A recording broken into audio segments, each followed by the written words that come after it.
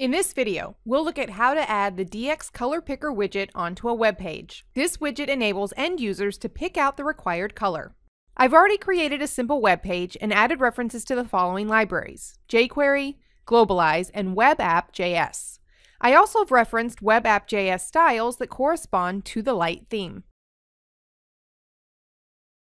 Like any widget from the Web App JS library, the DX Color Picker widget can be added using the jQuery, AngularJS, or Knockout approach. Here, I'm using the jQuery approach. First, we need to add a widget container onto the page and initialize the DX Color Picker plugin in the document.ready event handler.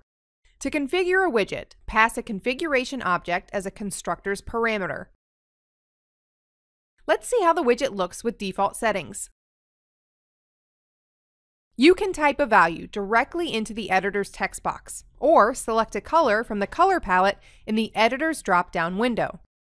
In the drop-down window, you can also define one of the RGB color constituents or type the entire hexadecimal notation.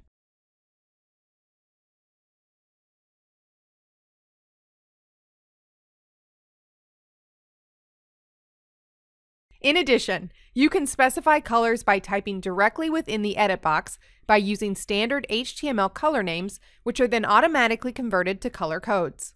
Okay, now I'm going to show you how to obtain the selected color. To do this, I'll define a function for the value change option. To access the new field value, refer to the object passed to the action.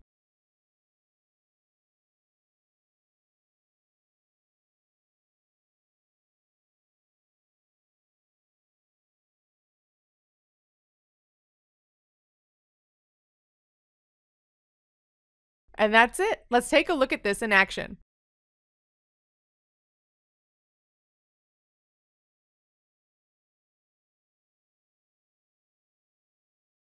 Finally, I'll enable the alpha channel editing. For this, let's define the Edit Alpha Channel option.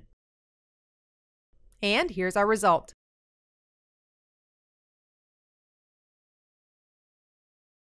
To learn more about the DX Color Picker, make sure to check out our documentation on our website. Thanks for watching, and thank you for choosing DevExpress.